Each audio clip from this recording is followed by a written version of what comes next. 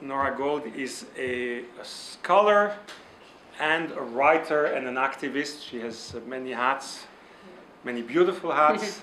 um, she's a scholar uh, in women's studies and in antisem studies of anti-Semitism. She's now at the University of Toronto in the Center for um, Women's Studies in Education. I don't know if that's women studying education or people studying women in education. Yeah, it's but everything. It's everything. It's yeah. And uh, she's also, as I said, an activist. She started uh, JSpace Canada uh, to uh, fight uh, against anti-Israeli sentiment or doctrine in, in Canada. She's also a writer. And um, so you can find her on the web in different capacities. She also has her own website, noragold.com uh, if you want more. So thank you for coming. Thank you so much. Please, you're welcome. Thank you. I'll go back around. Okay. Thank you very much for that introduction. Can everybody hear me?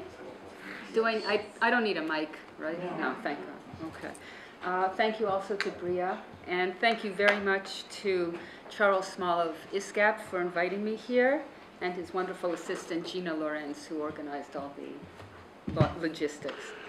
Um, I'm also very happy to be here because McGill is my alma mater and I haven't been in the Leacock building in about 30 years, 35. Wow. I don't want to date myself, but anyway, very emotional to be here and to have some family members here as well. Um, I'm going to start off today by showing you one and a half minutes of a film, uh, just to give you a flavor for the girls who are in the study.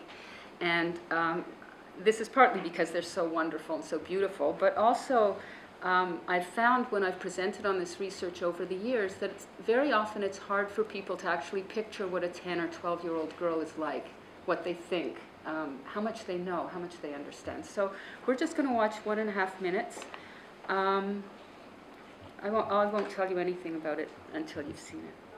I had a really great teacher this year for Talmud and Gemara. It's really hard, but I like learning about things in depth, even though um, some of it's from like a long time ago, they don't even apply to us. It's like a different way of thinking. Um, and but I love like the holidays, I love them. So like I really like embrace student. I've heard that mainly the people who don't like Jewish people or any certain people, I think that if the tables were turned and people didn't like them just because of their religion, they would maybe think differently. They say that we killed Christ, which I don't agree that. That should be no reason to hate us. Do you think we did? I've heard stories, but I mean, he was Jewish, so, and I don't know, the people who put him on the cross killed him. We didn't kill him. Do you know who put him on the cross? Was it the Romans? Yeah. Well, there's like all Jewish people are rich, or all Jewish people have big noses, or something like that. That's I I don't understand how all people can like can think that, or some people can think that all Jews are one way. No, and again, like just the kind of jokes. Like sometimes I even make jokes. Like just we all just make jokes. It's not something I'm against or anything. It's like, oh hey, you know, you need to learn to make fun of yourself if everybody was the same, if there's this perfect image of everything being the same, takes you back to Holocaust, takes you back to Hitler. Everybody had to have blonde hair to do it. That's like, who says everybody has to be a certain thing, you know? Everybody has to be different for them to be people. This is from a film that I made from the research, a 13 minute film, which if you want you can view on my website, noragold.com. Um, and uh, it was, as you can see from, these from this film, the girls were about 12 years old. Some of them were highly articulate and had thought about some of these issues over the three years that I interviewed them. So I will tell you about the study. Um, and um, I'll first talk about the research. And as I'm speaking, try to sort of keep these girls in your mind to, so that it's a bit more concrete, some of what I'm telling you. Um, I'll talk for about 30 or 40 minutes at the most because I, I'm very eager to have discussion with you. I'm not going to go into a lot of detail, uh, for instance, about data collection or methodology. I want to give you an overview and I want to discuss the findings, which are the most interesting part.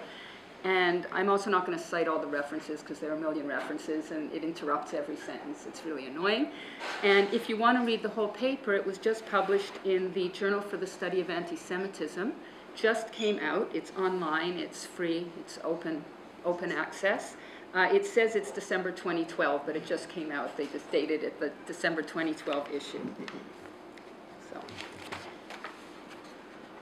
So, as, as probably most of you know, um, anti Semitism has existed for over 2,000 years. And since World War II, many scholars have sought to understand the phenomenon, uh, including its causes and effects.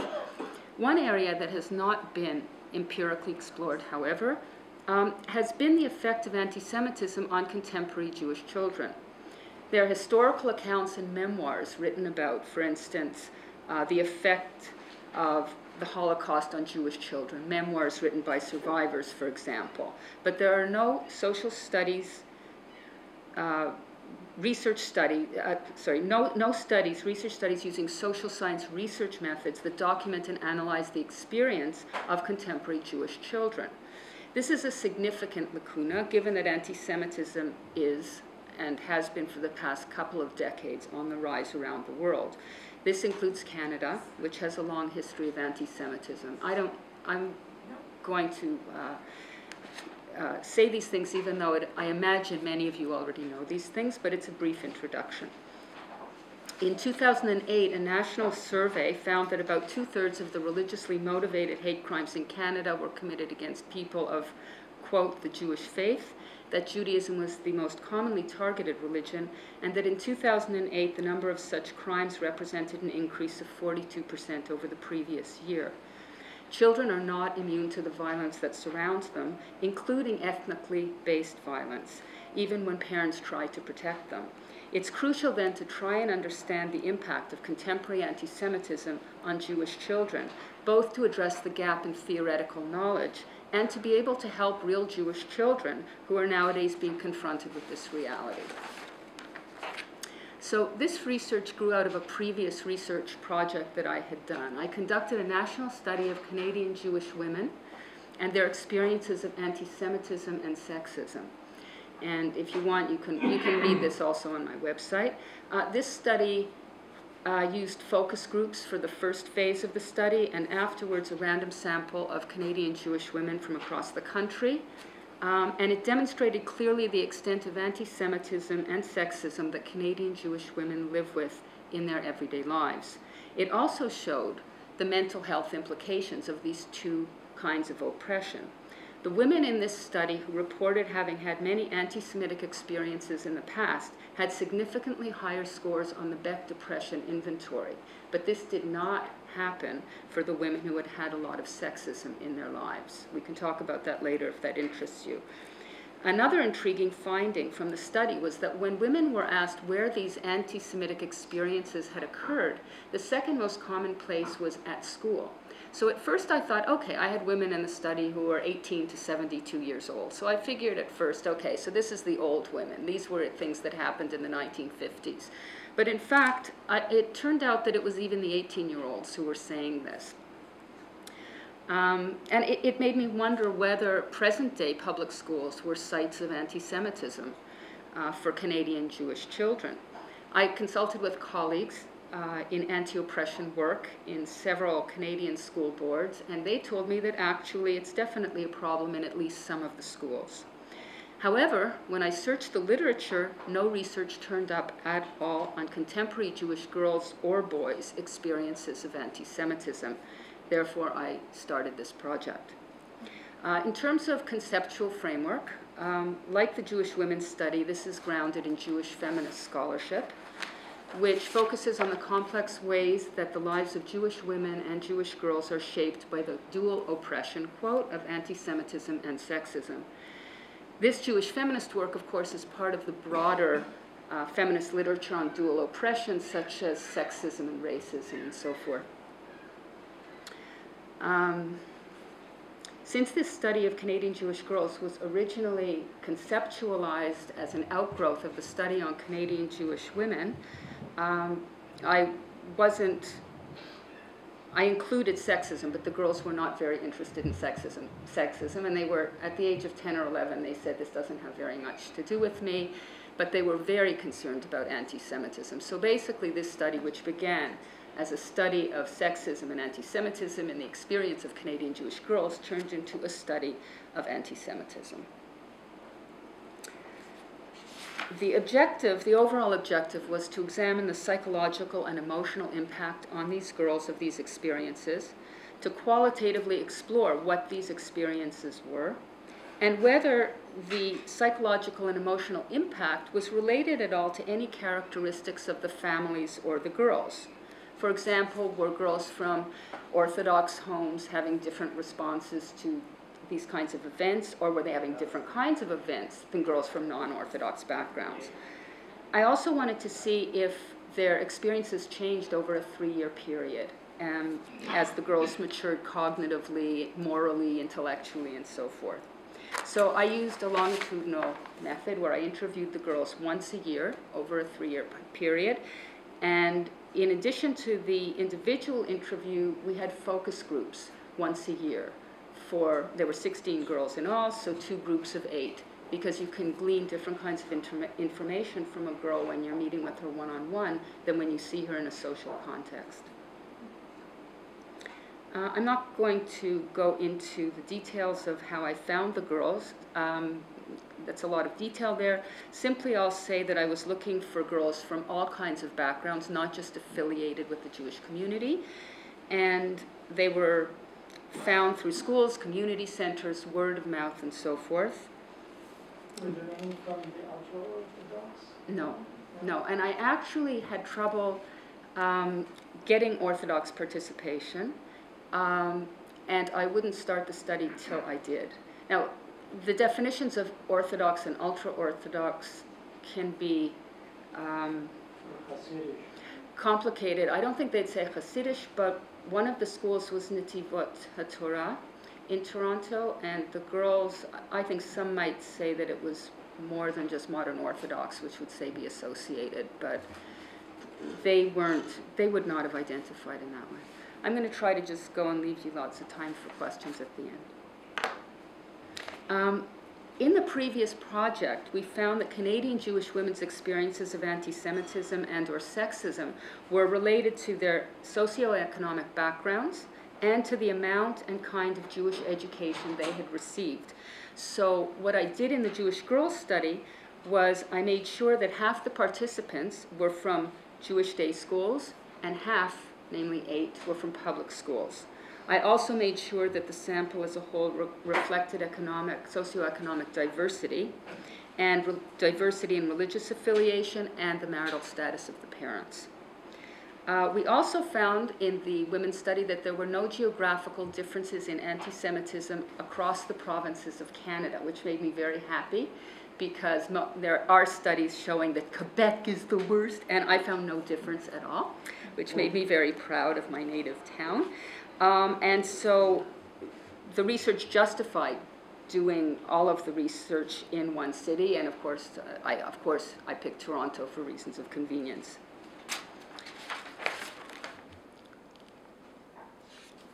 What we did with each girl at the beginning um, was the parents filled out a demographic questionnaire with a lot of information, and I say that because you'll hear a little bit about that in the results.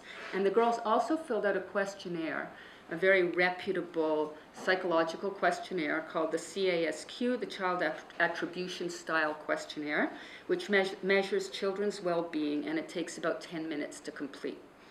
Um, after the girl had finished the CASQ at their first interview, each girl was shown a poster with seven topics on it and was asked to talk about these topics in any order she chose. And I'm not going to digress onto the difference between doing research with children and adults. It's very different. Uh, they all had a magic wand that they could use to wave at the topics. They had plasticine and dolls and lots of food. Of course, food's good for everybody, not just children.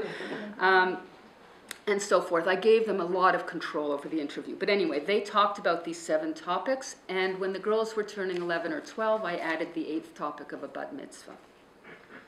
Um, The reason I picked these topics was to learn as much as possible about their everyday lives, which is essential to understanding the context and meaning and impact of anti Semitic events. You don't want to just have information about anti Semitism, you want to understand the context. It's very important.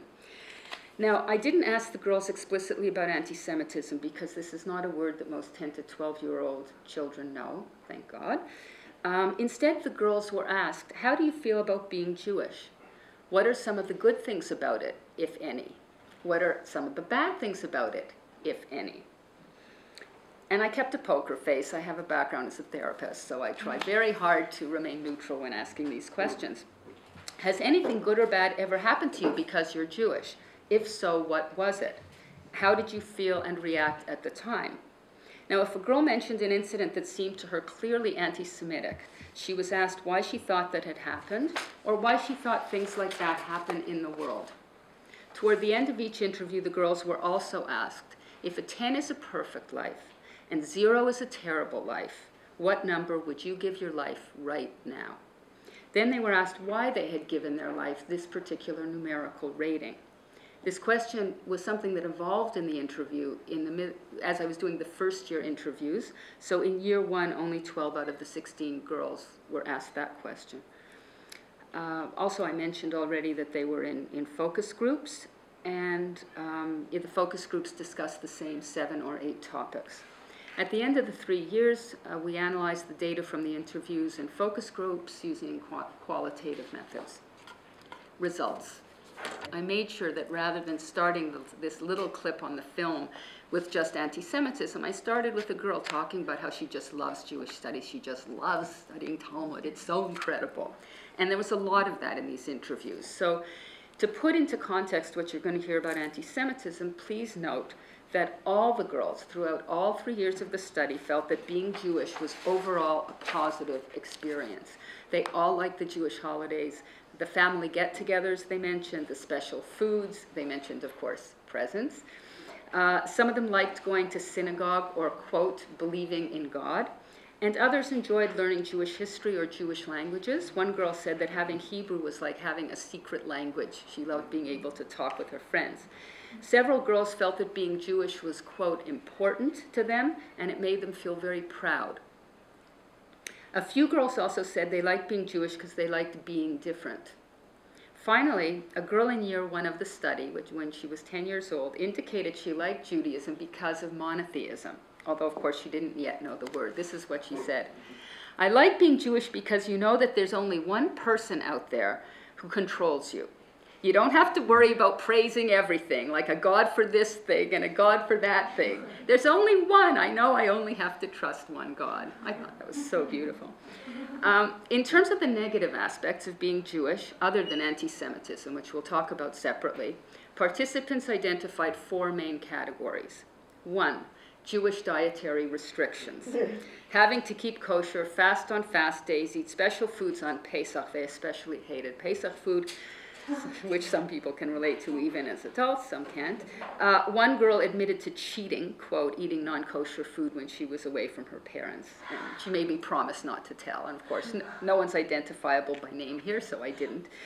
Uh, number two, other religious prohibitions, not traveling on major Jewish holidays, and therefore having to miss field trips and things like that from, for the girls who went to public school.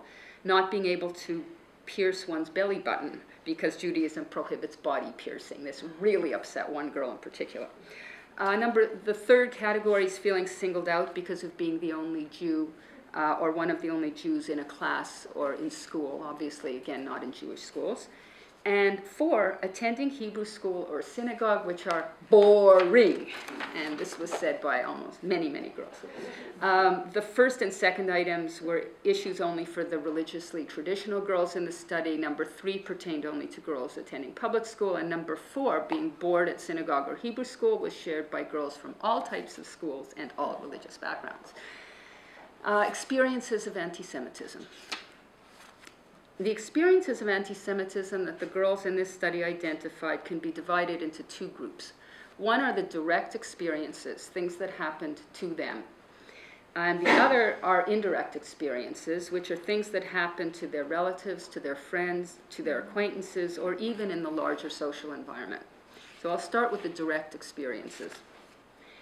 Are you okay, the ones of you who are standing? Like, there's extra Yeah, chairs. There's, there's, there's, there are chairs here, yeah? Okay, okay, as long as you're okay. I, I'm just trying to avoid talking about these horrible things to tell you. Okay, direct experiences. In terms of these, uh, there were two direct incidents described by the girls in each of the first two years of the study, and one incident in the third year, so that's five altogether, that these girls felt were anti Semitic. And all five of these incidents took place in public schools. In year one, again at age 10, year, I won't keep saying that. Year one is 10, year two they were 11, year three they were 12. In year one, a girl heard a group of her classmates saying that there was a book about Hitler that they'd heard of, and they all wanted to read because Hitler was, quote, cool. In the second incident, a girl's music teacher decided to teach the class a Jewish, in a public school, to teach the class a Jewish song for Hanukkah, but an Iranian girl told the class, I'm not allowed to do a Jewish song because Jews are my enemy. In year two, age 11, one girl heard a boy in her class tell the rest of the class, referring to her, pointing to her, I don't like her because she's Jewish. Another girl heard, quote, offensive comments at her school about Jews. In year three, a girl was sitting next to a classmate who drew a swastika on his hand and showed it to her, clearly intending to upset or offend her. Indirect experiences. Regarding indirect incidences, um, incidents, the girls in all three years reported events that they had heard about and experienced secondhand from relatives, friends, or acquaintances. They also had indirect experiences of anti Semitism from the larger environment, but this sort of indirect experience was a major factor for these girls only in the first year of the research. And we'll talk specific, something very specific happened in year one. Um, well, what happened was there were three very, very dramatic anti Semitic attacks in Toronto all in one weekend in March of that year.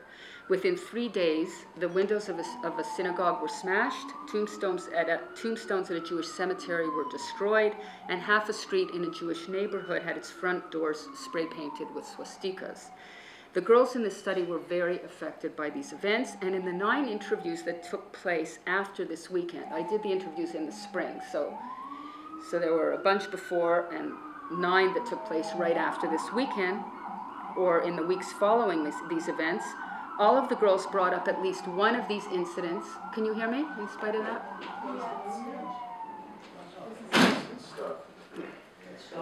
Okay. Okay, so, so all nine girls, uh, of course, because you closed the window stuff. Uh, all nine girls uh, brought this up spontaneously, even the ones whose interview came five or six weeks later. Some of them also mentioned with concern the additional fallout from that weekend, for example, seeing anti Semitic graffiti on the walls of the Jewish schools, their schools, and having to have guards posted there at the entrance doors. Two girls were very upset about the cemetery desecrations because their grandparents were buried at the cemetery that was vandalized. One, two of the grandparents were, as a little girl said, in the front row, uh, but fortunately, none of the tombstones, their tombstones, were broken. Two other girls knew um, people living on the street where the doors had been spray painted with swastikas. Uh, one was a relative, a cousin, one was a school friend. The second girl uh, was talking about her friend, and she was too young to be certain about the word swastika. Of course, I was happy she didn't know the word swastika. Um, but she said her friend's house had been Suzuki'd, which tells you a lot about the background of some of these girls. It had been Suzuki'd, yeah. Uh, yeah. Another girl alluded to the high profile murder two years before of an Orthodox Jewish man in a, by a skinhead on one of the main streets of a Jewish neighborhood in Toronto, and she said she was a little scared of what was happening now in Toronto. A fourth girl said she was worried about, quote, the pushing down of the Jew. Now, in contrast to year one, in year two of the study, there was no such dramatic anti Semitic events, and none of the girls mentioned incidents of anti Semitic vandalism in their interviews. But two girls still did describe disturbing indirect events. In one, a girl was told an anecdote by her Hebrew school teacher. Uh, we won't, I won't comment here on why this teacher told this story to a class of 11 year olds. Um, this teacher's father's car had broken down and he had to call a towing company. So the tow truck arrives and the, the, um, the driver asked her father if he wanted to stop somewhere on the way to his car for a coffee. And the guy said, No, thank you. No, I, I want to go straight to my car. So soon afterwards, the driver's phone rings and it's his daughter. And he says to his daughter, I'm with this guy, and I asked if he wanted to stop at a coffee shop, but the Jew wouldn't buy me a coffee. Okay. So the teacher comes and tells her, her class this. In the second year two incident, a girl had a classmate, an Orthodox boy who wore a kippah, yarmulke. One day he's riding on a bus, and a woman who was sitting down kept kip- kicking him. He was standing, and you know, she's sitting here and he's standing here, and she keeps kicking him. Um, and he said to her, Excuse me, you're kicking me. Would you please stop? And she didn't say anything. She kept kicking him. It was very crowded, and he tried to move away, but there wasn't, couldn't move very much. Then the bus got to her stop, and she stood up and she was trying to get off the bus, and she gave him a push, and she said to him, Move away, Jew boy. This was a good friend of the girl in the study. In year three, also a year without any unusually dramatic anti Semitic events, eight girls described indirect incidents. One girl had a Hebrew teacher, and again, the Hebrew teacher told the class this, um, who worked part time in the shul and answered the phone there. One day she picked up the phone, and it was an anti Semitic hate call. Uh, the, uh, the woman on the other end of the line started screaming obscenities at her, including, You Jews are the fault of every death in the world. Um, another girl said she knew people who'd been insulted that year or made fun of because they were Jewish, for instance, being called a dirty Jew. A third girl was told a joke by a Jewish boy who had had it told to him. I, I'll just repeat it, revolting. Uh, what's the difference between a Jew and a pizza? Pizzas don't cry in the oven. She was freaked by that, needless to say. In year three, some of the girls also spoke about anti Semitism in the larger environment. Uh, this is, of course, consistent with developmental changes in, these girls were undergoing at age 12, especially since many of them for that year were switching from elementary school to middle school. That's how they do it in Toronto. And we're becoming more interested in and aware of the world around them. Uh, in year three, two girls brought up the anti Semitic vandalism in Toronto two years before, one of them having seen it on the news. So they were already starting to watch the news and the internet and so forth. Two other girls read in the newspaper or heard from someone else about the Jews in Iran being forced to wear an identifying symbol on their clothing, quote, like a Jewish star. Another girl referred to how dangerous it was to be a Jew in Afghanistan nowadays because that's, that country is, quote, strongly anti Semitic anti Semitism, the Holocaust, and Israel. Now, in these interviews, I never brought up the, I never used the word Holocaust, not once. I never brought up Israel. And the girls brought up these two things over and over and over again. It was very, very dramatic. To me, it happened extremely often and always spontaneously. In these girls' minds, there were clearly strong connections between anti Semitism and the Holocaust, anti Semitism in Israel, and the Holocaust and Israel, that whole triangle. Um, this happened more frequently as the girls grew older. In years one and two, a third of the girls related anti Semitism to the Holocaust, but in year three, it was more than half. Similarly, regarding Israel, in years one and two, about a third of the girls related anti Semitism to in Israel, but in year three, this nearly doubled with about two thirds of the girls, 64%, bringing up Israel spontaneously. Starting with anti Semitism and the Holocaust starting with year one. So in year one, one girl, after talking about the anti Semitic vandalism in Toronto that weekend in March that I mentioned, said, It's like the Holocaust again. And two other girls expressed the same idea. One of these girls went on to say that the Holocaust scares her, quote, because I can't believe they did that and stuff, and like, I could never survive and stuff. In year two, the girl who described the incident with the tow truck driver after saying, the Jew wouldn't buy me a coffee, she continued, which is sad. I was like sad that someone would say something like that, especially like after the Holocaust and like stuff. And also that guy, like the internet denied the, the Holocaust. I don't know who he is, but I heard it on the radio. Well, it's not as bad as that. The incident of the tow truck isn't as bad as that, except it's still like that's how it all started, you know. Well, like with people excluding Jews or like saying bad things about them one by one. And then it got bigger and bigger. and then the concentration camps. Similarly, in year three, the girl who related the story about the anti Semitic phone call at the shul then began speaking about an anti Semitic incident that had happened not long before in France, and then she went right into talking about the Holocaust. Wow, there's people in my area doing this. It's pretty scary. Like, if this were to ever happen again, like, which it could, like, did you hear about the thing in France with the guy who got tortured? Like, these things are still happening. And if, if it comes back again, I don't know if we're going to be able to, like, deal with it anymore. So many of us are lost. Like, to think six million, you just, like, how could this many people be lost? Some of these girls seem to have been encouraged to think about the Holocaust by being given books to read about it by their teachers or parents. In year one of this study, only one girl mentioned reading a Holocaust book, but in years two and three, about a third of them referred to books they were reading about the Holocaust, usually for school, but also, not always, sometimes at home. We can talk about this after. I think it's a very important point. In addition, in years two and three, the girls alluded to other types of Holocaust related educational experiences they had been exposed to. One saw a movie about it, one saw a play, and one was taken to visit a Holocaust museum. These girls were very affected by these experiences. They also seemed, as a result of them, to identify strongly with what happened to Jews during the Holocaust, and in some cases, to especially identify, obviously, with the Jewish children in the Holocaust. For example, one girl in year three, age 12, spoke about pictures she saw at a Holocaust museum, including photographs of Nazis making people remove their clothes. She says, if they didn't strip, they'd be killed. She, she, this wasn't in anyway, obviously she was talking to me after coming back from the museum. If they didn't strip, they'd be killed. Or they like they tested with little boys, like five-year-old boys, to see how long they can go without food.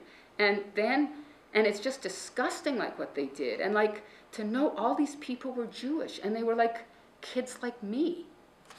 Because of this identification, lighthearted comments these girls sometimes heard about the Holocaust, such as Hitler being cool or the joke about the pizza, were very painful to them. In all three years, there were some girls in the study who thought that the Holocaust could never happen again. However, others felt it definitely could because, quote, some people don't ever believe it happened. And even among those who do, quote, many haven't learned the lesson from it. Anti Semitism and Israel. In terms of the connection between anti Semitism and Israel, Israel was very, very much on the minds of the girls in this study. As with the Holocaust, as with the Holocaust they rep- repeatedly brought up this subject spontaneously and unsolicited. In all three years, they recognized that the conflict in Israel was a political problem and a complex one. And different girls in the study actually had very different political opinions, uh, most likely re- reflecting their parents' views. Basically, though, the girls all saw that what was happening in Israel was a Jewish issue and related to anti-Semitism. This was their perception. I'm not, I'm not writing this. I'm, take, I'm taking this from the data. For instance, one girl in year one said that Israel keeps being bombed, quote, because it's the Jewish homeland. Another one offered, as this is amazing for a 10 year old, I think, actually. Another one offered as an example of anti Semitism that quote, a lot of people are having wars with the Jewish people, like in Israel. Many of the girls in the study were very worried about terrorist attacks in Israel. One girl had a friend who had been very close to a bomb that had exploded there. Two other girls heard of bombs going off in places in Tel Aviv where they had just been on holiday. Most of the girls felt quite attached to Israel. Six of them had close relatives, including siblings, living there. Several girls had visited Israel, some numerous times. One girl in year two was going to spend the summer in sleepover camp in Israel. Another girl was going to be having her bat mitzvah there. Because of all these personal, cultural, historical, and religious connections, any attack on Israel, physical or ideological, was experienced by these girls as attacks on them as Jews and therefore as anti Semitic events. For example, in year two, one girl's sister, who was a university student, came home very upset because there had been an anti Israel rally on her campus, which to this girl and her whole family was an anti Semitic demonstration. Similarly, in year three, another girl heard from a friend of hers that one day she was strolling through a mall, a mall with her friend, and this friend was wearing a shirt, a t shirt with the insignia of the, the Israel Defense Forces, the Israeli army on the front someone walking by them made a face and uh, a rude gesture towards her friend's shirt, like, ugh, that's disgusting. The girl in the study who heard this story was very, yes, she heard this story from a friend of hers. It didn't happen to her directly. The girl in the study who heard this story was very, very distressed and said that although she too has the same Israeli t shirt, after this incident, she's not going to wear it anymore when she goes to the mall, quote, just in case. In year three, age 12, two girls in the study commenting on the political situation in Israel were clearly trying to view it with some objectivity and were obviously struggling with the competing claims of Jews and Palestinians for the land. For example, one girl said about the Palestinians, in their Bible, they kind of think that we're on their land. Like, they think it's their land given to them by their people, which it also says in ours, and they can't both be true. We think ours is right, but obviously, from their point of view, they think theirs is right. Like, we think they're evil because they want to steal our land from us, but they probably think we're evil because we have their land and we won't give it back. Two other girls in year three commented on the role played by the Canadian media in influencing the way many Canadians regard Israel. For instance, you don't really hear about the good stuff that happens there, you only hear about the bad. In general, the girls in this study were very disturbed about the lack of peace in Israel. One girl, one girl in the first year, after talking about a terrorist attack, said, Everything that's happening in Israel right now makes me really sad that so many people are dying and getting injured with, well, not really a reason, well, not a good reason because it's just not right for someone to do such a thing and people shouldn't like even think about doing stuff like that. And what my question would be is why were weapons invented? Like why were guns and bombs and stuff invented in the first place?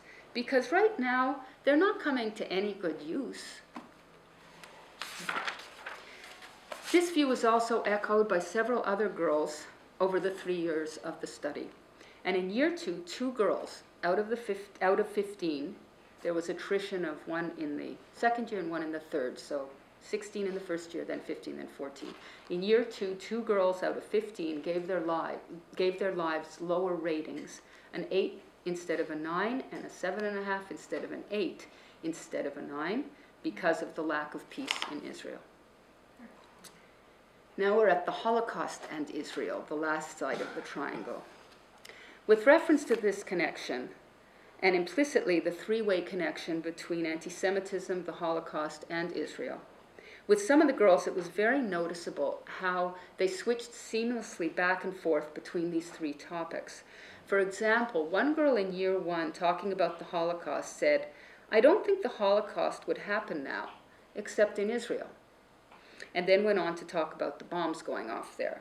Another girl in year one said she worries about anti Semitism and what's happening to Jews around the world because, like in Israel, how there's like when there's like so many bombings and stuff, well, the Holocaust is obviously worse, but this is still really bad. A third girl referred to a Holocaust book she'd read where the girl in the story had had her parents taken away and people around her were getting shot. The girl in the study then said, and sometimes you hear on the news just like people who've done bad stuff to Israel. Like, if they want the land of Israel, they'll just go to war because they want the land. And then people just, and then people like they just war, and then people die. Another way in which the Holocaust and Israel were connected conceptually for some of the girls was through the idea of historical anti Semitism and the way Jews have often been unjustly blamed by the countries in which they've lived. One girl in year two said that she saw Israel as getting all the blame for the problems in that region, and then she continued. That's how World War II started. Because Hitler um, convinced Germany that, like, everything that's a problem that's wrong with the world is because of the Jews like the Russian president or something like that. Like he told his country, like he was like really bad, like he took advantage. Like he, I'm obviously this is the way these were her words. Like he always took the money and everything, and when they would complain, he goes, "It's all the Jews' fault. Everything that's bad is the Jews." The associations in these girls' minds between anti-Semitism, Israel, and the Holocaust were very striking, and I'll refer later on in this paper to the implications of this. The emotional and psychological impact of anti Semitism on these girls. The direct and indirect anti Semitic incidents described above had both emotional and psychological effects on, all these, on the girls in this study. In all three years, when the girls were recounting these anti Semitic experiences, they also expressed feelings of fear and anxiety. And although most of them thought it unlikely that anything bad could happen to them in Canada because they were Jewish, some felt otherwise. In year one, for example, one girl said she could see something bad happening to her in Canada because she was Jewish. Another girl that year said that as a result of recent anti Semitic events in Canada, she's now sometimes a little afraid of people who are not Jewish. A third girl, the one who had the incident with the Iranian girl, said she was, quote, sometimes really happy, but sometimes really sad that she's Jewish. In year two, after telling the story about the boy being kicked on the bus, this girl said that she was glad that, unlike Orthodox Jewish boys with their kippah, she is not identifiable as a Jew when she goes out in public. She thinks she is safer that way. That same year, another girl talking about her public school said, I don't point out that I'm like a Jewish person.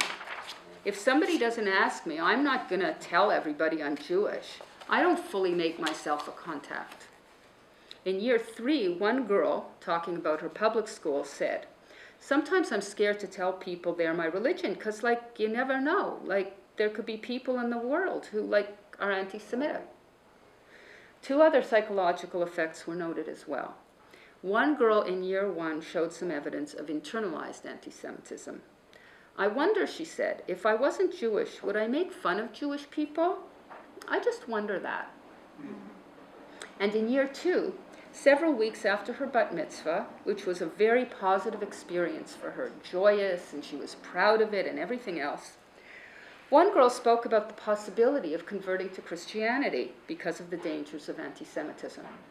Quote, Sometimes I feel like I want to be Christian because I always hear about like this stuff about like people killing Jews because they're Jewish. I usually hear about it in Israel, but sometimes like near me, like Toronto.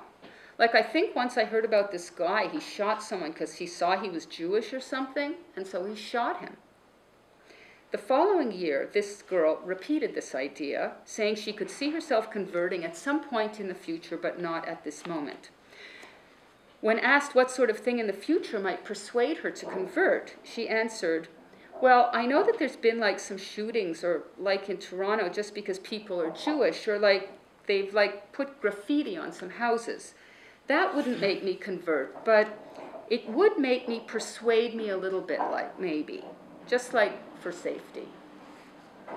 In terms of the overall emotional or psychological well being of the girls in the study, no relationships were found between their CASQ scores, the anti Semitic experiences that they related, the types of schools they attended, or their families' religious affiliations. However, there was a relationship between the girls' experiences of anti Semitism and the ratings they gave their lives, though only for year one. In year three, there was no such relationship, and in year two, this relationship showed itself only with two girls out of 15, those ones I mentioned who lowered their life scores because of the lack of peace in Israel. In year one, however, out of the 12 girls who were asked to rate their lives, five of them rated their lives lower than they would have otherwise because of anti Semitism. This appears to be related to the weekend of anti Semitic vandalism in March of that year because all five of these girls had interviews that fell after that weekend rather than before. These five girls came from both kinds of schools and all religious backgrounds and constituted 55% of the girls interviewed after that particular weekend. When asked the, re- the reason for the lowered rating, one girl who had given her life an 8 instead of a 10 said, Because I'm really happy with everything that's happening to me, but, pe- but, but people for our culture, things aren't so good. Someone else who lowered her score said, because of what goes on to people who are Jewish. The fact that 5 out of 12 10 year olds, 10 year old girls in year one, 41% of the whole group, rated the quality of their lives lower because of anti Semitism strikes me as disturbing. Given the well established relationship between cognitive and emotional processes, it's important to understand how these girls not only felt about anti Semitism, but also how they thought about it. All the girls in the study who described anti Semitic incidents were asked why they thought that incident had occurred, or why things like that happen in the world. Below are some of their answers according to each year of the study. Year 1, age 10. People think that the Jews are lesser people, that we're lesser people. Another girl. Because they have to blame their problems on someone, so they decided on the Jews. Another girl. Because being Jewish, there's always going to be hatred towards you. Another one. People are making out that being Jewish is something like it's a bad thing. Oh, I'll get some air in here. Yes, it's, it's hot. Okay? People are making out that being Jewish is something like that's a bad thing, but there's nothing bad, it's just different. It's just believing different things. Another girl? Because they hate Jews. But I don't know why they hate us. I don't think we did anything bad to hurt them. Another girl? I don't get why people would ever do that just because of a religion. Like, I don't think we're bad or mean or anything like that. Year two. There always is going to be anti Semitism because some people just feel that way. Like some people feel that we should not be here. They don't like us. They're followers of Hitler. Another girl, I think they have their own problems, and sometimes it's just them, like they may be sick. But sometimes it might be just like people who dislike Jews because of their own reasons. But I don't know what those are. One girl in year two expressed some self doubt because of anti Semitism and perhaps some self blame. She said that when an anti Semitic incident happens, she asks herself, Is there something wrong with us? I asked her if she believed there is. Her answer was equivocal. I'm not really to say because I haven't learned all the history of our past, of our present. I'm not fully in contact about what's happening in Israel, what's going on everywhere. If we've done something to those people, so I don't think I can really like fully answer your question. In year three, the conceptualizations of anti Semitism reflected these girls' increased intellectual maturity, for example, in the idea of stereotypes. Well, sometimes they, anti Semites, have their own personal problems. I don't know what their problems would be, but pretty much all in all, they stereotype. They think that all Jews are bad, and it's like one Jewish person was mean to them. Like they usually just stereotype one bad person. Another girl said, people just don't like people to be different, or they just stereotype and they think that, let's say, all the Jewish people are mean or rich, or as I've heard, have big noses. Anti Semitism and other forms of oppression. In year three, these girls' greater intellectual maturity and sophistication was also reflected in their understanding that anti Semitism is just one form of hatred among many. In the first two years of this study, two girls each year showed evidence of this understanding, but by year three, this was manifested in almost half the girls. This ability to see the link between anti Semitism and other kinds of oppression reflected increased maturity not only intellectually, but also in terms of the girls' moral development. In year one, the two girls who connected anti Semitism with racism attended the same Orthodox Jewish high school, uh, Orthodox Jewish elementary school, and there they, they'd been shown a puppet show about black and Hispanic children getting stereotyped. One of the girls said that in that show, a white person told a black person that they were like lesser because they were black. It's so stupid because it's just a pigment. Then she drew a parallel between racism and ageism. I don't think anyone should be less treated. Well, I think that kids are less treated than adults. Mm. I have to say, I agree with her there. Very smart girls, I'm telling you. In year two, one girl connected the historical struggles of the Jews with the struggle of black people for their freedom and said it makes her angry whenever people, any people, quote, aren't treated the same. Another girl in year two talked about going with her class to see a performance by a group of people with disabilities, and in describing it, she related ableism to anti Semitism and racism. In year three, one girl related anti Semitism to racism, sexism, and homophobia. 12 year old girl. Here's what she said Discrimination makes me sad. discrimination against Jewish people and against women and against other people like Chinese people and black people and native people. And the way the Nazis and some of the Germans treated the Jews was just terrible. And that makes me sad and it makes me angry that people can treat other people that way. It doesn't really matter who you are, what your background is. They're just people. I mean, they're, we're all just people. We're all equal. I don't get how they could feel that they're higher than the gypsies and the Jews and the homosexuals. Similarly, another girl in year three, speaking about the Holocaust, connected it to racism, homophobia, and ableism. It's not just the Jews that were affected, like a lot of other people were affected. Homosexuals were affected, gypsies are affected, people with special needs are affected. So, at the broadest level, these girls started talking about hate. This came up explicitly in year three in one of the focus groups where discussion took place among the girls. It was very interesting to see, since I knew the girls individually, to watch what happened in discussion. They were talking about the hate in the world in the focus group and what they could do to fight hate. One girl said it's not possible to get rid of the hate in the world because, quote, even if there are just two people in a store, they're going to want the same item and they'll start fighting, and sooner or later someone will say, I hate you. This was a 12 year old understanding of conflict. Who knows? Yeah, sales. Another girl said that at school they were discussing To Kill a Mockingbird and how good things could be, quote, if everyone would just accept each other and if there was not hate in the world. Someone else mentioned that at school they were reading The Giver, and in that book there's the idea of a pill that could make everyone love, love each other. In response, one girl said that to make the world perfect, someone would have to put a magic spell on everyone. You know, they're still girls. Quote, and then everyone would become nice and no one would hate anyone. Finally, one girl said, We need more love in the world, less hate. So, similarities and differences by religious background and type of school. We're coming to the end, and then it's time for you to talk. In mm. this study, no differences at all were found between the girls from the various religious backgrounds. This is the case regarding the girls' anti Semitic experiences, their life ratings, and their CASQ scores. This was very interesting because there were very large differences in lifestyle and worldview between, for example, the girls from Orthodox and Reform backgrounds. However, the similarities between them obviously outweighed the differences.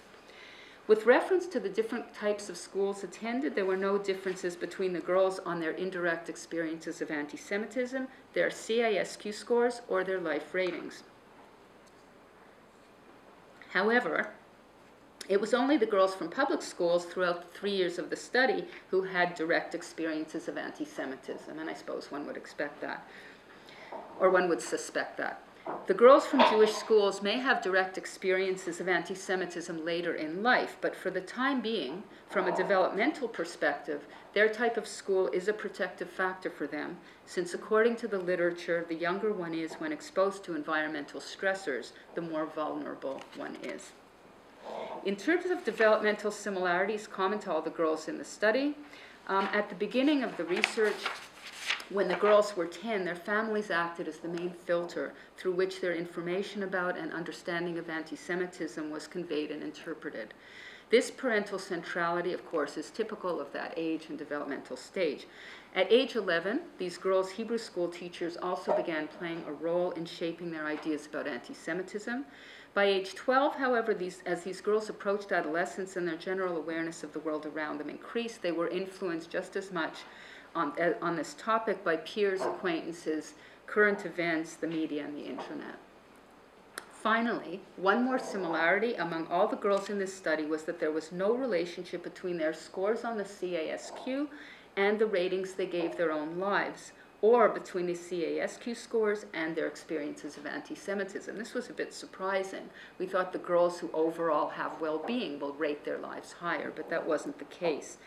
This may be because the CASQ focuses on general personality traits like optimism, and the question about life rating picked up probably on the girl's more transient feelings of the moment, so it might have been more sensitive to external events like an anti Semitic incident. Discussion. This research was initiated out of concern for the well being, psychologically and emotionally, of Jewish girls in Canadian public schools because of a previous study that implied this might be putting them at risk. The findings of this study indicate that to some extent this is the case. All five of the anti Semitic incidents experienced directly by the girls in this study occurred in public schools. In addition, this research found that indirect incidents of anti Semitism were experienced by girls from both public and Jewish schools. When discussing the incidents, the girls expressed worry, fear, anxiety, sadness, anger, and self doubt.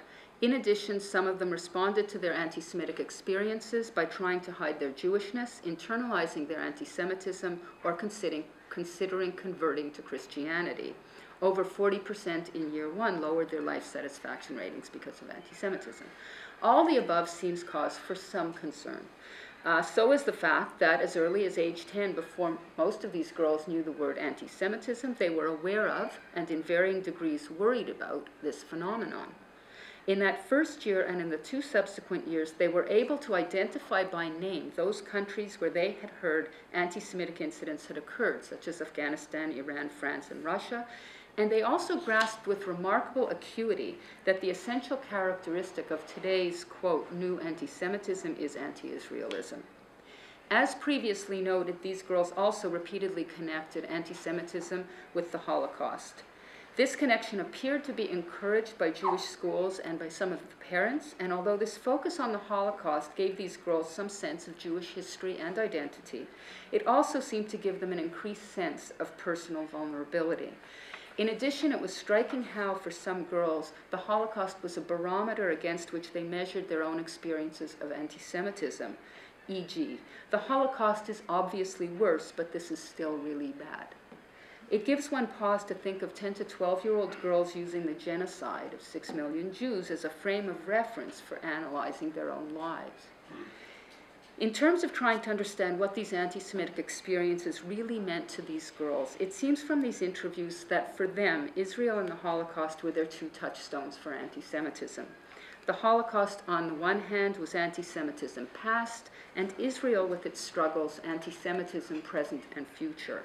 This may explain at least somewhat why two fifths of the girls in year one were so affected by the weekend of vandalism that occurred that they lowered their life scores. While it's true that in general community violence has a major impact on children, it's also possible that that particular weekend brought close to home for these girls both the violence in Israel and the violence of the Holocaust, since, of course, it was the swastika that got painted on the doors. This dual image, both aspects of it being about collective annihilation, past or potential, would have greatly intensified the psychological impact on these girls of that weekend's events. In terms of future research, which someone asked me about before, this project was just a first step toward understanding how Jewish girls and Jewish children in general experience and are psychologically affected by anti Semitism. Additional research is absolutely necessary to build on this work. It's recommended that future studies compare the experiences of Jewish girls with those of Jewish boys, expand the size of the sample, and conduct an international project on Jewish children from many different countries, and employ, as this research did, both qualitative and quantitative methodologies, as well as a variety of different instruments to measure children's psychological resilience and well being.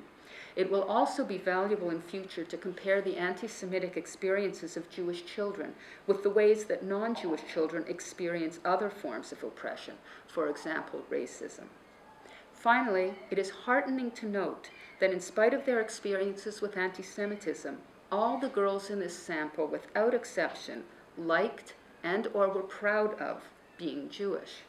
This is very important, and we as Jewish adults need to do whatever we can to help Jewish children build on the positive aspects of their Jewish identities rather than inadvertently fostering negative Jewish identity by overemphasizing anti Semitism in Jewish education or at home.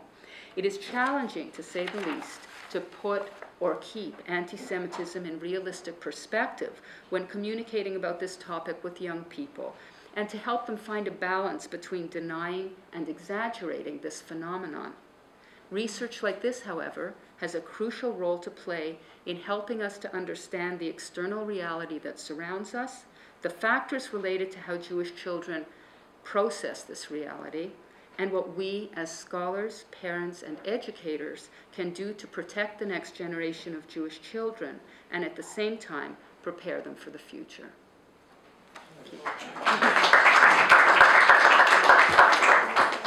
Sure. When you analyze the backgrounds of the children, did you ask whether they were children of survivors or grandchildren of survivors? I didn't ask that at the outset. Uh, of course, I got to know the girls and their whole families very well. Um, in fact, there was one girl. Um, I usually did two interviews back to back, and I learned after the first year to always put one of the girls second, because not only did her mother not leave, she come. I was meeting alone with the girls. The mother would come to pick her up and wouldn't leave, just wouldn't leave. She talked and talked, and she always came with her sister or her mother, and her mother was a survivor. And there was a whole. I mean, it became really clear. Um, just you know, the family's background became really clear. Uh, I know the backgrounds of the girls well, and I believe that was the only child from a family where a parent, a grandparent was a survivor. Okay, so first I will answer the question about were they the same girls in all three years? Yes, they were. This was a longitudinal study, which means that you follow the same group over time. Part of my interest in doing this and making the film, which I call Jewish Girl Power, um, was based on a film called Seven Up, where every seven years, a filmmaker in England and actually his Canadian colleague would film British boys, and I sort of had this image of, and some girls too. But anyway, yes, this was the same girl. This was the same set of girls, and that was exactly the point that um, to really follow them and see how how their experiences and thinking about anti-Semitism evolved in the context of their lives and their experiences. So I got a much deeper set of data, I believe, uh, I know, than if it had been done another way. Um, as for the word Zionism, I'm a passionate Zionist, um, and I'll tell. I, I want to say something about that afterwards in, in a different context. Um, I guess I was thinking in terms of pro-Israel, anti-Israel. Uh, that's sort of my framework for thinking. But again, I wasn't using this language, any language, with the girls. I didn't even use the word Israel. In other words, in, in research of this kind, you really want to find out the language of the girls themselves. I never asked them about Zionism. Uh, one girl, her parents were divorced and her father lived in Israel and she spent a lot of time there and she said, I'm a Zionist and, you know, and so forth. But it, it wasn't something that the girls said and what I'm doing here is sharing data. My own views uh, I can, would be happy to talk about after and they'll come out. I have some further comments after. Um, the other question? Boys and girls. uh, boys and girls. So as I explained uh, when I was talking about my theoretical framework and how this this study evolved, it was an outgrowth of a previous study. It was it wasn't I didn't sit down and say I want to do a research on Jewish children. What happened was I did a study of Canadian Jewish women and actually I did that research because I had a colleague who told me that I could not present at International Women's Day about Jewish women because Jewish women have had no experience of oppression. And I said, I mean, we were both, Jewish husbands. sorry? What about Jewish husbands?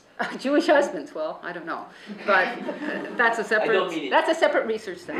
Um, this was, we were both tenured faculty at the time. I said to her, can I give you something to read? And she said, I don't have time to read. A tenured professor doesn't have time to read. I said, um, can I, um, can I come speak to your class? She said, there's no time in any of my classes. So I went to get an article to give her, which would parallel racism, sexism, and anti-Semitism, sexism, and I couldn't find one. And I said, okay, I'll do it. I actually didn't anticipate that the anti-Semitism was going to be a big thing. I was floored.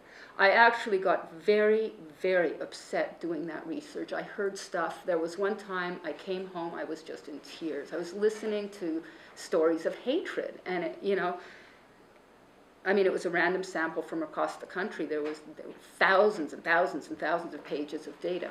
Anyway, when I saw this thing about this finding that the second most common thing was that it that it happened at schools and that it was still happening at schools. And my colleagues who wouldn't allow themselves to be quoted, who worked in anti oppression in public schools, all right, I'll tell you, but don't quote me.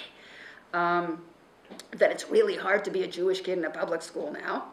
Um, I said, all right, I'll do it. I'll do, a, I'll do this as a continuation. I did Jewish women, Canadian Jewish women. I'll do Toronto Jewish girls. I wouldn't want to generalize to all of Canada, although I suspect from what I hear anecdotally that much of it can be generalized.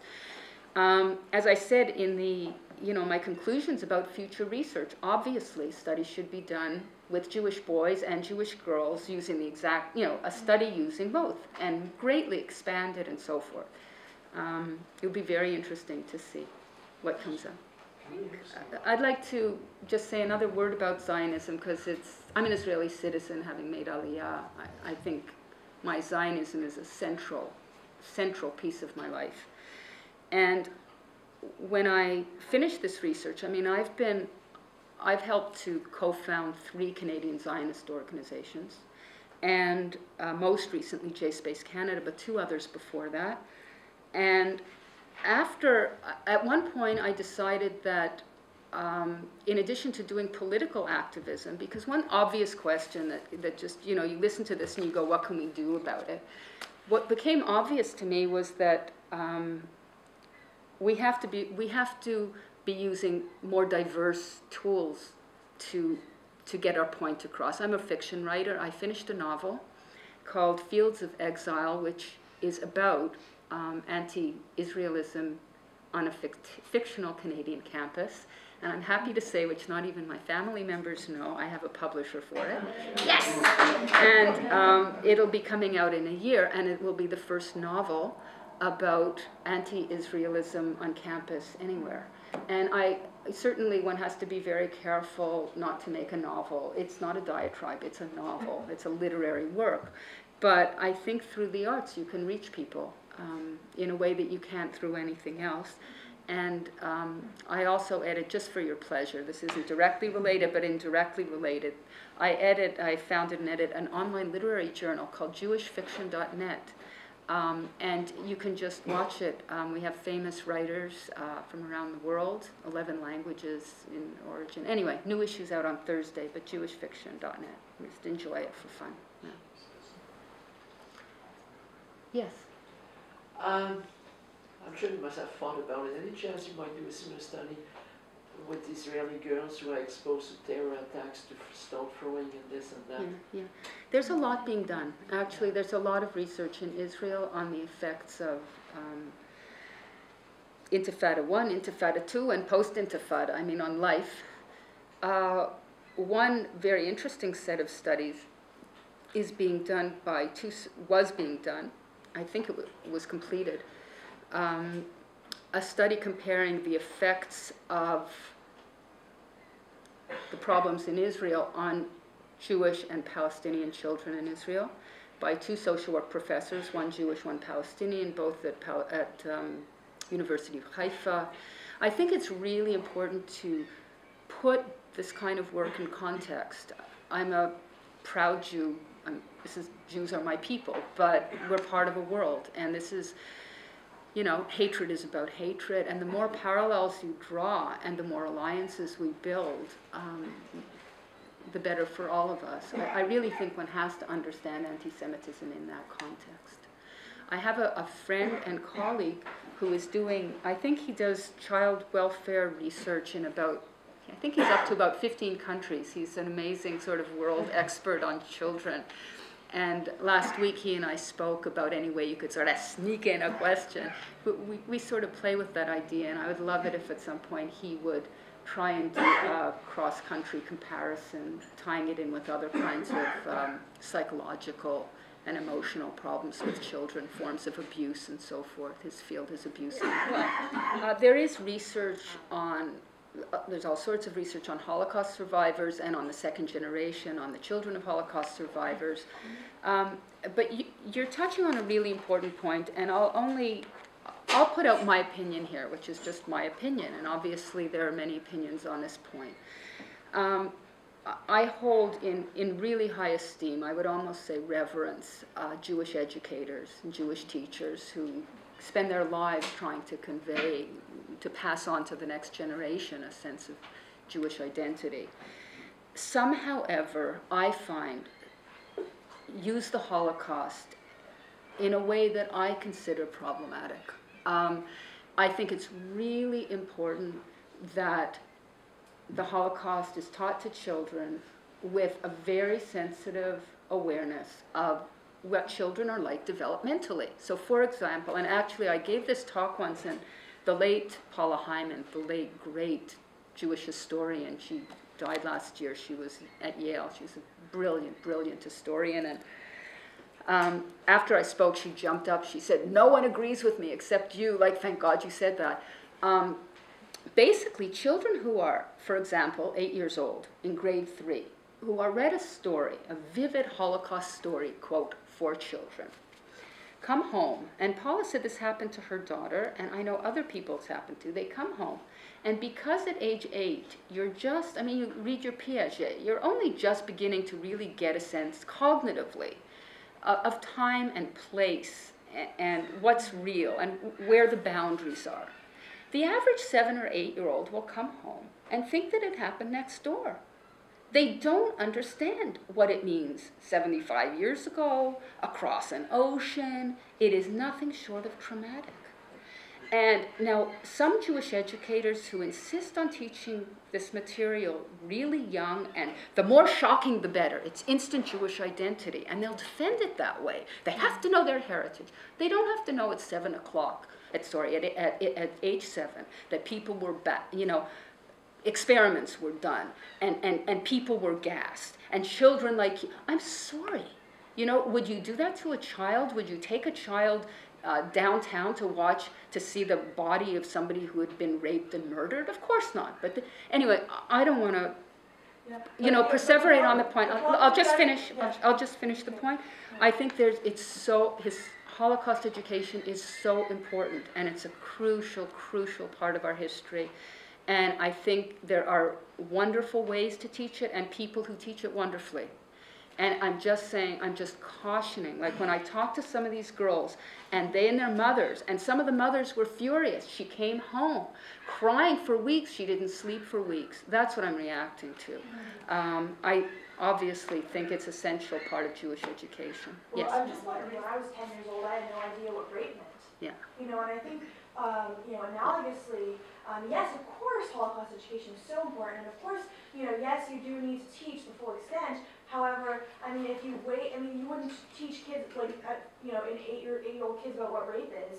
You know, you just just just because you wait a couple extra years does not mean that they're never going to learn about it. You know, Yeah. I we had a Holocaust student in grade six. You know, at my el- Jewish elementary school, it was perfect. Mhm. You know, we were able to understand it. That's an They were able excellent to- age. They were able to, to, to deal with the shock factor and et cetera, et cetera.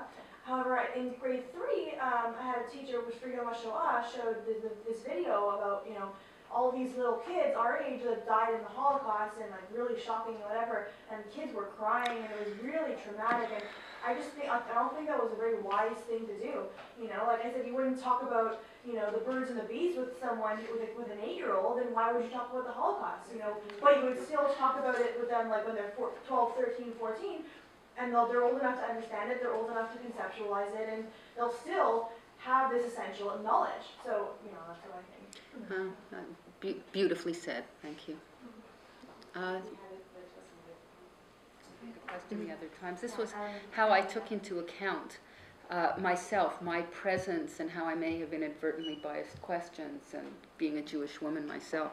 I had never done longitudinal research before, and I'd never done research with children before, and it's really different. It's so intimate. You have a 10 year old who's I don't know if you remember how small 10 year olds are. Like they're really little and they're scared, and their mother, you know, is standing in the doorway and go in, honey, it's okay. And I've offered her a cookie and chatted her up a bit, but basically she's sitting here like this, like she's in school and she's really scared, you know.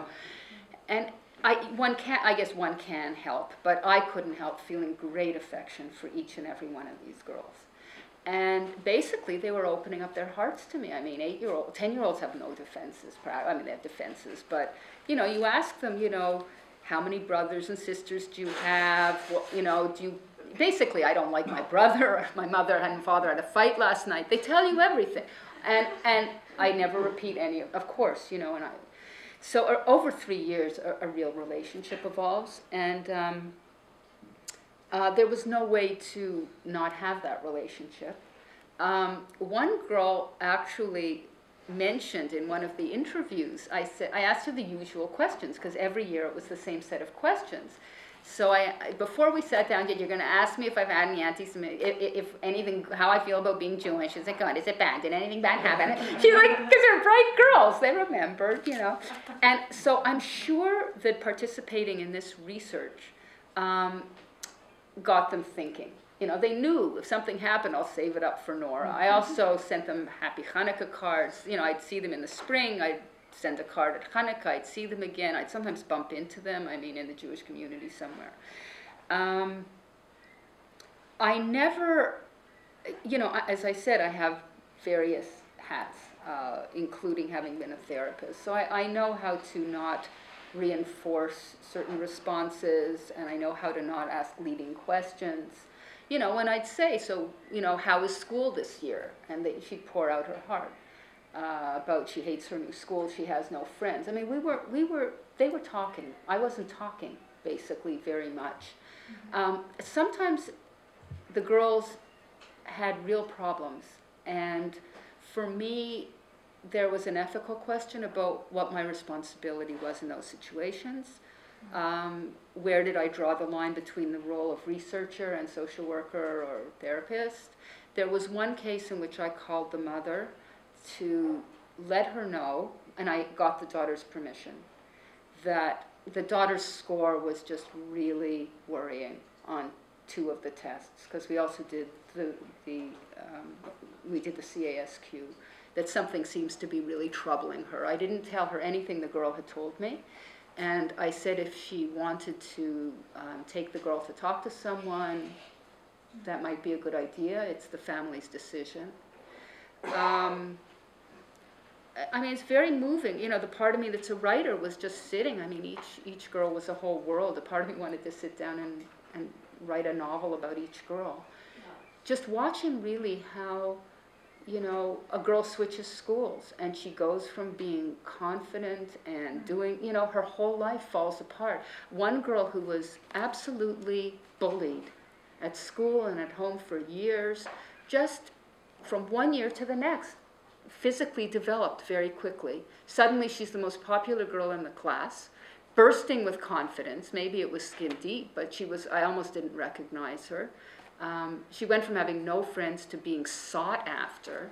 In the focus group, everyone wanted her. Um, we didn't have email addresses, and it wasn't Facebook. It was something, something else they wanted. I don't remember. I don't remember. Yeah, I think it was MSN. Yeah, yeah. Thank you. Um, but anyway, um, I think all my years as a therapist made me very sensitive to, very aware, and also, I mean, this was feminist research, and it that was complex too because in feminist research, um, it's a matter of of theory and practice that you lower the boundaries. You know, in feminist therapy with adults, for example, you would say, you know, I too am a woman. I understand what you're describing. Obviously, I wasn't going to lay anything like that on the girls. I never talked about myself. Uh, once a girl said, you know, Somet I feel so lonely. Have you ever felt lonely? And I said, everyone feels lonely sometimes, you know. But no, this wasn't my time or space. This was, the camera was on them, you know, and everything. They're hot everywhere. The question was, she'd like to hear a bit more about my book. Um, I've been very involved in the issue of anti-Israelism on campus. Um, I was a professor, tenured professor for 10 years at McMaster. Uh, this was eight, uh, 90 to 2000, and it was a different world then, and it wasn't at McMaster per se. Everything really was starting, you know, by the time I left. But I guess because I'm Israeli citizen as well as Canadian, I have a real nose for anything to do with Israel. And I, I saw a lot of this stuff way before I don't say this to pat myself on the back. I saw it before other people and wasn't, bel- other Jews would say, nah, nah, nah, nah, nah, nah, nah, nah, nah. And then it started to become sort of undeniable.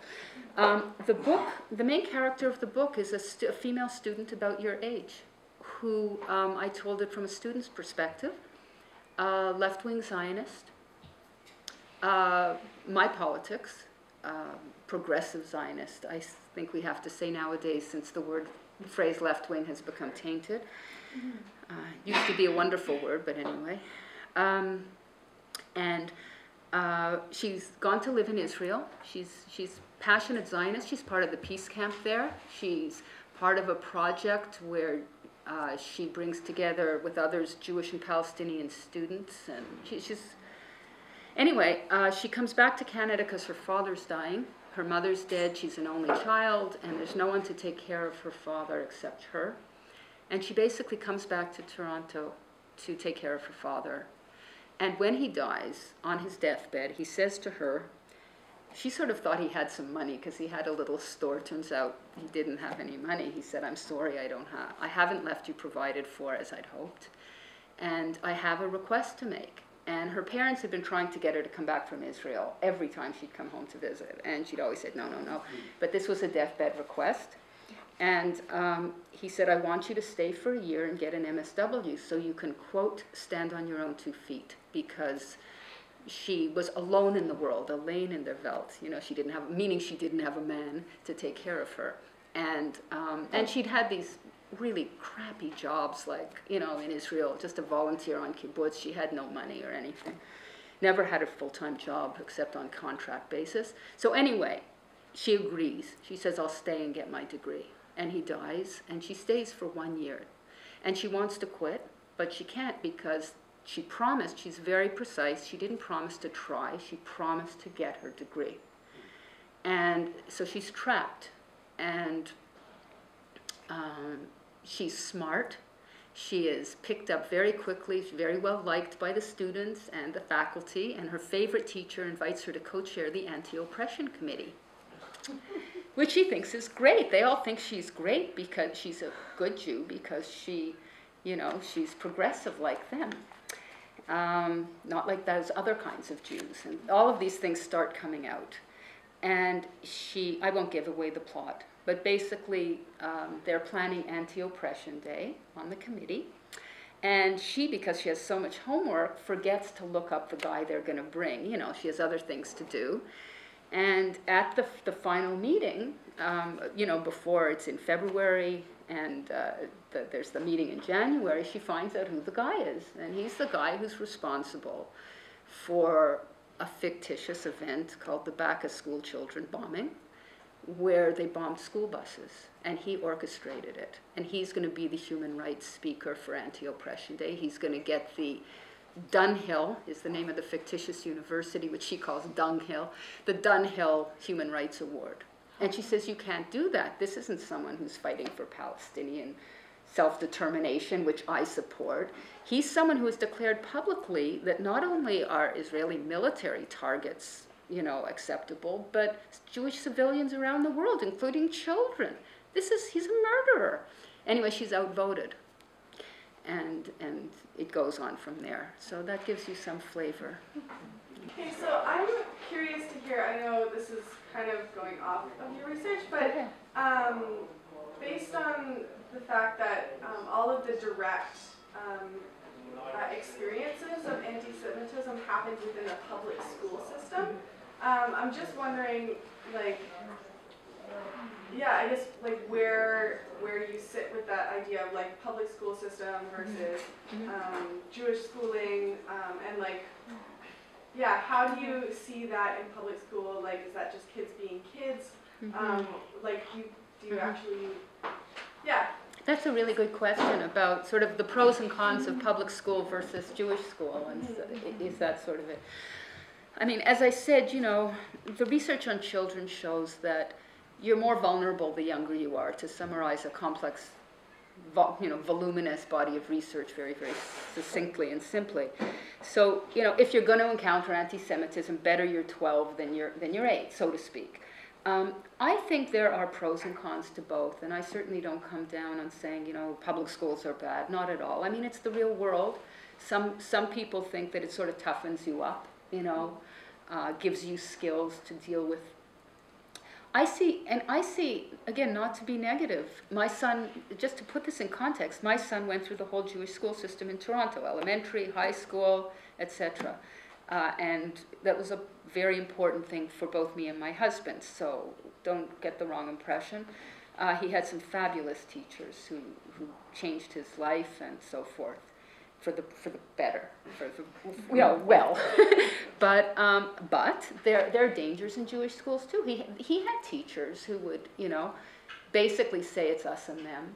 You know, they're really, you know, you, we all know what we're talking about, who really almost cultivated a fear of non-Jews in the children, which drove me crazy. I mean, I would say that in elementary school, there were times he'd come home, and basically I would set aside almost 20 minutes to, to deconstruct what he'd been taught. A tremendous amount of sexism, I must say. You know, the one girl wanted to wear a kippah. Why do you think you're a boy? I mean, like stuff like that, which didn't sit well, well with me, but that's a whole other topic. Um, you know, I think certainly when you're talking about young children, parents are the crucial, obviously the crucial factor. And, and parents really, you know, need, good parents are, or should be, really on top of what the, teach, the school's teaching. And, you know, certainly, I mean, I guess that's it in a nutshell. Just to summarize for the camera, I guess, what she was talking about uh, how children in Israel are sometimes taught hatred against Palestinians and so forth.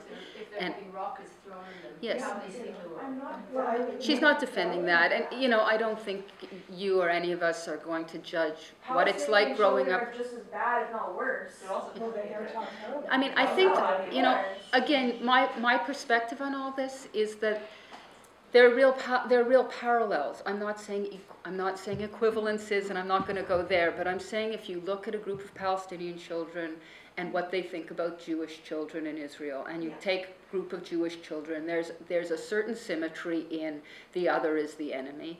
And I have to say on a, on a personal note, and of course I, not of course, but I really don't judge, but yeah, I lived in Israel for six years, and I go back two or three times a year, and I have a whole other world there, very close friends whose politics are like mine, and I've heard things come out of some of their kids' mouth that has left me literally speechless. I mean, horrible things. I know exactly what you're referring to.